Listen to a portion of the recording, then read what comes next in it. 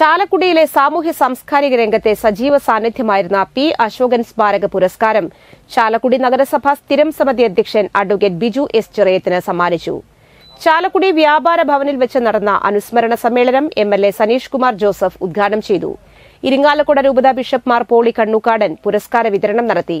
പതിനേഴാമത് ചരമവാർഷിക അനുസ്മരണ സമ്മേളനത്തിൽ മുൻ M L A T V Chandramohan മുഖ്യ അനുസ്മരണം നടത്തി. അനുസ്മരണ സമിതി ചെയർമാൻ എൻ കുമാരൻ അധ്യക്ഷനായി. ചടങ്ങിൽ ചാലക്കുടിയിലെ സർക്കാർ വിദ്യാലയങ്ങളിൽ പഠിക്കുന്ന മൂന്ന് വിദ്യാർത്ഥികൾക്കുള്ള സ്കോളർഷിപ്പുകളുടെ വിതരണം വൈസ് ചെയർപേഴ്സൺ ആലി ഷിബു നിർവഹിച്ചു.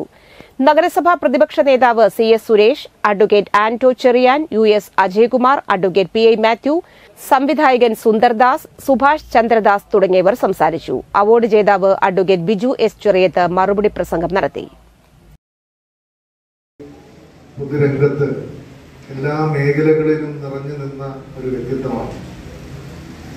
രാഷ്ട്രീയത്തിന് അതീതമായ പ്രവർത്തിച്ച ഒരു നിസ്വാർത്ഥനായ പൊതുപ്രവർത്തകൻ അദ്ദേഹത്തിന്റെ ദീർഘമായ ദീർഘവീക്ഷണവും കാഴ്ചപ്പാടും ഒക്കെ അദ്ദേഹം പ്രവർത്തിച്ച മേഖലകൾ എല്ലാ മേഖലകളിലും. വരുന്നില്ല.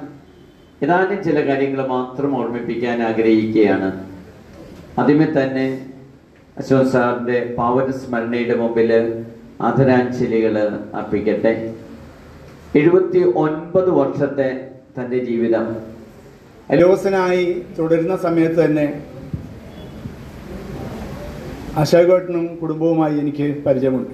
ഇതിന് കാരണം